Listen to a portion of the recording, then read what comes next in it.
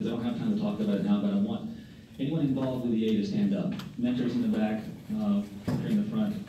So if you're interested in learning more about the program, talk to these people afterward. But in the interest of time, I'm going to move forward. And uh, these two young gentlemen just pitched their idea to the investors panel at the Young Entrepreneurs Academy last week and won. And they will now represent Frisco and Rochester, New York in early May. So welcome Ian and Julian to talk about their product, Zip Eats.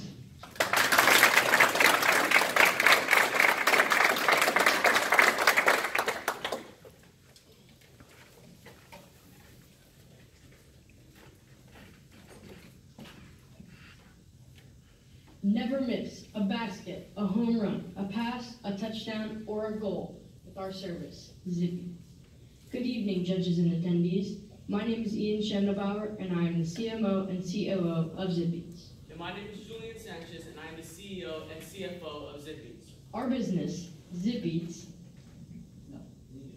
is a service that delivers stadium concessions to fans at local sporting events that don't want to get up out of their seat to get concessions and miss the game. So the fans use our convenient service to fix that.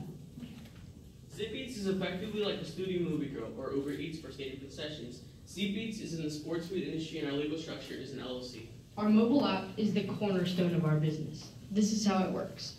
First, you download the Zip Eats app.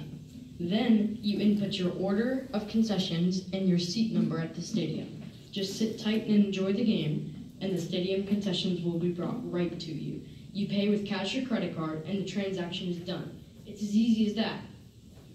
Just like soccer players, Zip Eats is goal oriented. Our short term goals include launching the business and our mobile app in the summer of 2018. By January 2019, we will be doing business in two local sports venues in Dallas, Texas. Our long term goals include establishing a market share and improving the fan experience at sporting events worldwide. The competition for Zip Eats is very limited. Our competitors include small mobile concession vendors and normal concession stands. Another competitor is a similar service called Fan Food. Our advantages over the competition is the convenience we provide and the simplicity of our service.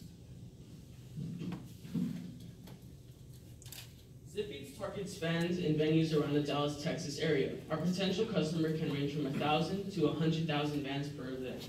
Our target market is enthusiastic fans who are hungry, thirsty, impatient, and are willing to spend money. To market our service, we will distribute flyers and brochures and use geofencing and push notifications to advertise on technology and mobile devices.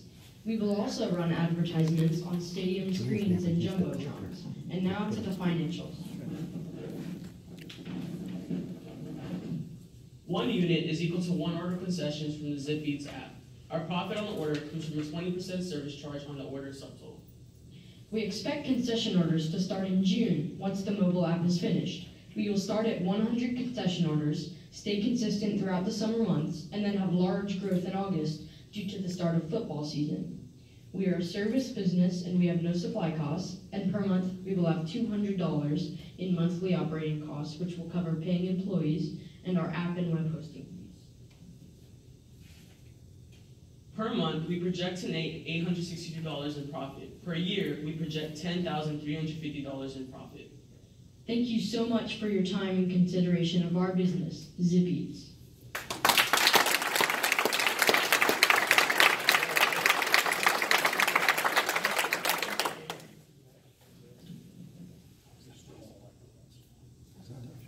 It's a pleasure to have young entrepreneurs, young, young entrepreneurs on stage with us and presenting today. So thank you very much. Great job.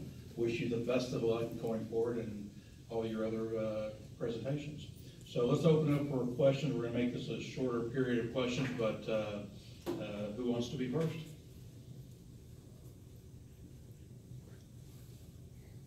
Make sure you guys use a microphone to.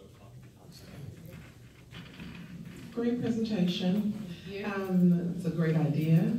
And then also, I see that you said employees, so you'll have actual staff at these venues, or will y'all work with the concession and they'll kind of like wear a DoorDash shirt whenever they're delivering to, uh, so will you actually have employees, or how will you work with that? No, ma'am. So our service works like this. So at the stadium, we have, so the, let's say a fan places an order. Our runners that are employees of our company then retrieve the order from the concession stand and deliver it to the fans. Okay. So we don't have a direct association with the concession stand. They just provide us the food and we deliver it to the fans. So we're like a Okay. middleman. Question. And my second question is, you said that, um, you'll also be cash-based. So my concern with that is, um, do you worry about when you're delivering to somebody in their seat and they give you a hundred dollar bill? Like now, are your staff gonna have to have cash on them for change, or now they're gonna have to run back to the concession stand? Kind of, how does the cash part of it work? I can kind of see the credit card happening on the app. Yes, um, our main preference would be to use credit card for payment, but like cash, we can also have change on the employees. Good question. So, uh, you'll have employees on site to do delivery. That means everybody will have to have tickets to get in the venue. So that's an added cost, I guess, or you can work with these venues to be able to get a discount or get in free, or how's, what's your proposal on that? Uh, I didn't really understand. Okay, so you're gonna have workers. Yeah. Uh, that are be delivering. They're, to get into the stadium, they're going to have, have a ticket to get in. Or how are they, how are you planning on having to get in? Is there any expense included for that? Since, um, since they're working at the stadium, they're not spectating the game, and so they're not fans and stuff, so they wouldn't have to, since they're employed there, they, they have like a pass to get in. Okay, perfect.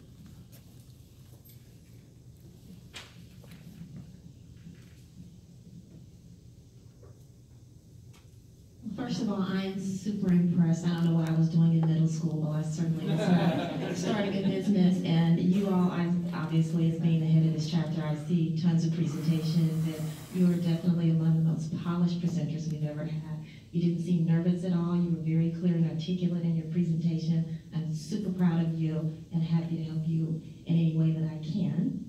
And my question for you is, will the venues receive a percentage of the food sales?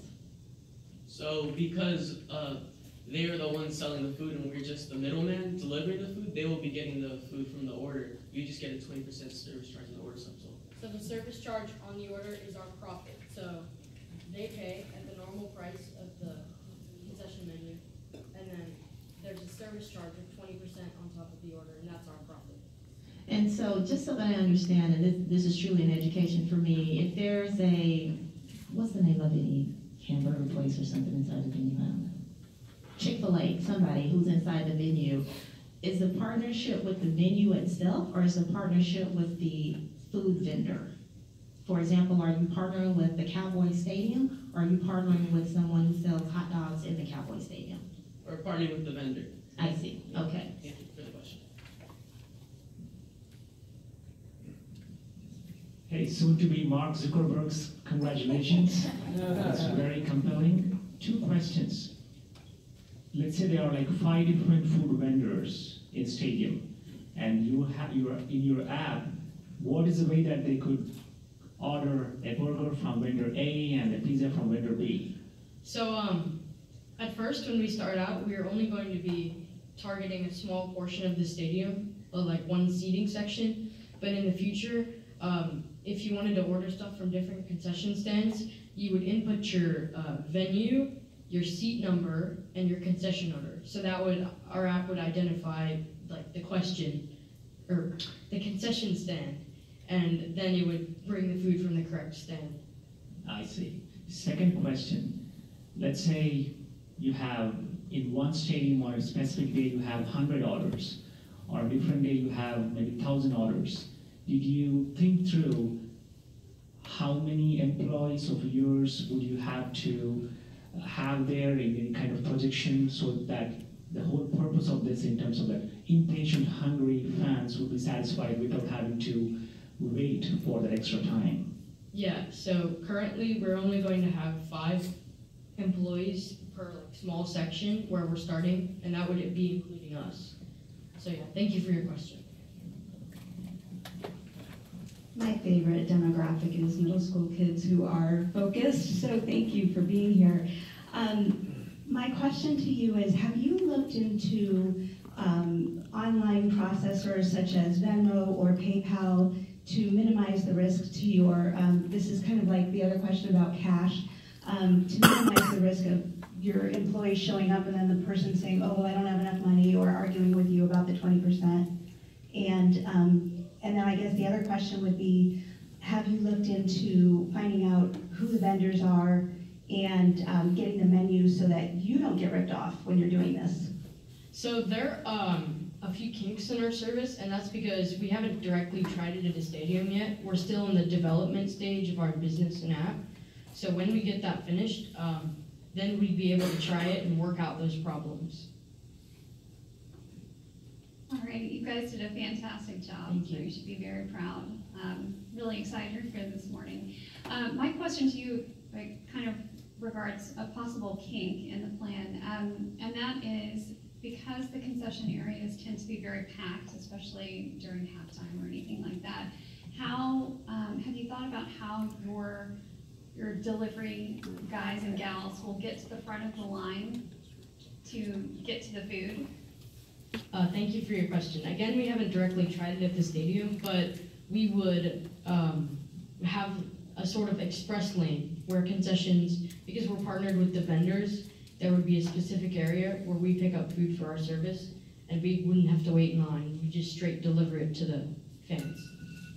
Okay, gentlemen, great, great uh, presentation again. Um, Very poised, perfect answers. Appreciate you being here. What can we do for you? Or the last question we like is, you're here and you did a great presentation, so we'd like to help you out. Well, um, we really need help with app development. Um, we, we need to find a low-cost app developer, anyone can do that. Um, and also fundraising, that would be another big one. So thank you so much for having us present, and yeah,